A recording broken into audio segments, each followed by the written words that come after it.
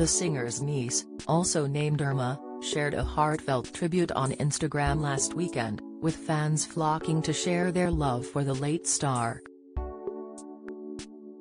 The public relations specialist shared, originally in Italian, Unfortunately, we knew that sooner or later it would have happened, only one Irma would have remained. We joked, but, unfortunately that day has come. Here I'm Andy, from today my name is worth double, because by wearing it I will honor you two every day. Sharing a selfie with her late aunt, Irma was inundated with support and condolences from fans. The Naples-born star delighted fans across the globe with her sensational operatic voice, but gained most of her fame for her star-studded love life. Irma, most notably, was the reported mistress of the former king of Egypt, Farouk I, often referred to as the last king of Egypt.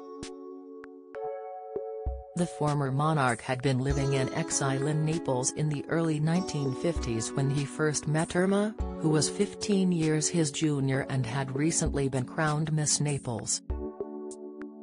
However, the singer was engaged at the time and her fiancé, Enzo Oncarola, reportedly challenged the king to a duel, offering either pistols or swords as the weapon of choice, according to The Telegraph. Don't miss.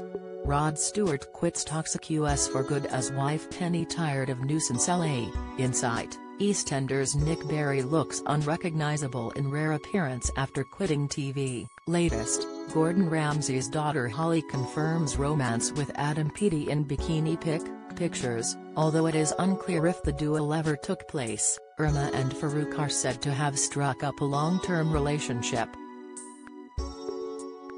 The former king also became one of Irma's first supporters in her singing career, booking out an exclusive Naples club to host her recital with more than 300 guests in attendance.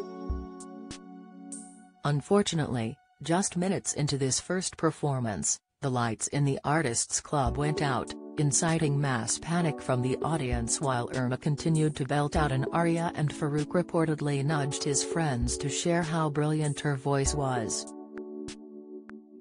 It is unclear if Farouk and Irma ever married as in a 1954 interview seen by the aforementioned publication, the singer declared marriage to be the tomb of love and said she would prefer not to be wed.